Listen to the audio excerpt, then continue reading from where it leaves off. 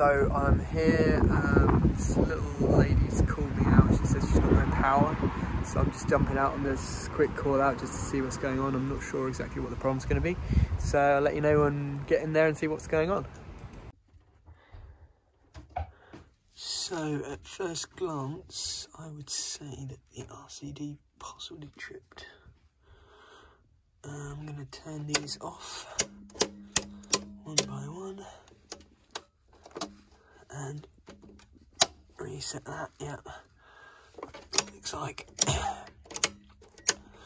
that's done the trick. that's it. Easy as that. So that was an easy fix, which is nice. And uh, ladies said, can I pay by check? And I said, no, it's all right. I've got a card machine. So I'm just going to do a card payment now. Um, I hate checks. I, I, actually put on my invoices, we do not accept checks. So I just take card payments, super easy with this little iZettle thing. Um, really amazing. It just connects to your smartphone and then you just take a payment and they take like a 1% commission or something. So yeah, it's really good. So I just got a phone call from that lady whose RCD was tripping, who I went out to a couple of days ago. And she said she, it's tripping again and it won't reset now. So um, obviously it wasn't just a bulb that had blown, it must have been something else. But it's weird that it reset before, but now it won't reset. So I'm gonna go back there and have a look and let you know what I find.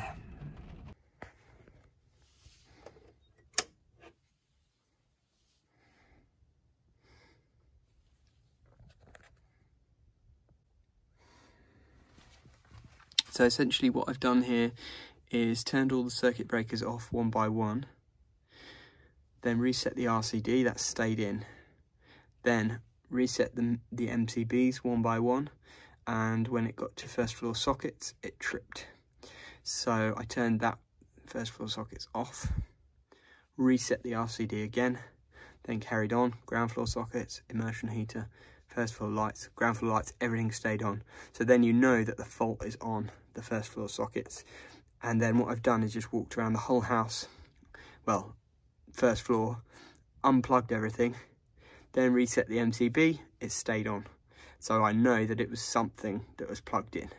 So then I've gone round, plugged things back in one by one, and as soon as I plugged in an extension lead in the bedroom, it tripped. So that's where the fault was.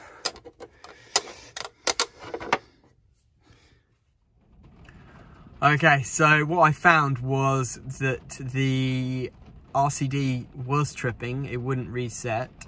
So I turned off all the MCBs, the RCD reset and it stayed in. And then I turned on the MCBs one by one until I found the circuit that was tripping and it was the first floor sockets circuit. Um, so I decided to just go round everywhere and check to make sure that it wasn't something that was plugged in. So I unplugged everything, then tried to reset the MCB and the RCD stayed in. So then I went back one by one, plugged everything in, and as soon as I plugged in this extension lead, it tripped. So seemed like that was the culprit. So I followed the extension lead and it led to two things. It was one of those four-way splitter things, which was a bit dodgy because the cable had pulled out of the cord grip and stuff like that. Um, but plugged into it were two fans. One was a class two fan and one was a class one. So I decided to just try those, plugging those in and see if either of those had a, a problem and in fact the class 1 fan was the thing that tripped it. As soon as I plugged that in, it tripped everything out again. So that's the culprit. Um, so I've told the customer obviously not to use the fan anymore because it's faulty. I've run some tests on the socket just to make sure everything else is okay and there was nothing else untoward going on. And the socket um, had, had, a little bit of a high ZS reading, 0.8 um, ohms, but it was on right on the top floor. It was actually on the second floor in like a little loft bedroom full of dust. Um, yeah, not the nicest place to crawl around in. But anyway, power's back on. I've recommended to the customer to get an EICR done because there's loads of dodgy looking stuff around there. I found a dimmer switch that was kind of cracked and sort of bulging a little bit off the wall so I'm a little bit worried about that. There was a couple of pendants that, were just like the covers were smashed off as well hanging down from the ceiling. Um, and the whole lot just looks kind of old and a bit dodgy. So as well as a consumer unit change which I've recommended I said first you need to get an EICR done. We'll check everything out make sure all the wiring's okay and safe and we'll do a consumer unit change and repair the few little things that are, are dodgy around the, the property and she also asked me about her boiler she said that she's not getting much hot water at all and it takes ages to heat up and stuff like that. So I had a look at the boiler and it's a Vaillant boiler, which is, you know, good good boiler. It doesn't look that old, but it hasn't been serviced for quite a few years. The last service label was quite a few years ago. So uh, I just recommending that she gets some boiler service as well, gets a gas engineer in to do a boiler service and probably it's just clogged up with gunk or something like that and, and it just needs a, a good overhaul. Um, so yeah, that was just an update on that little job sometimes they go like that.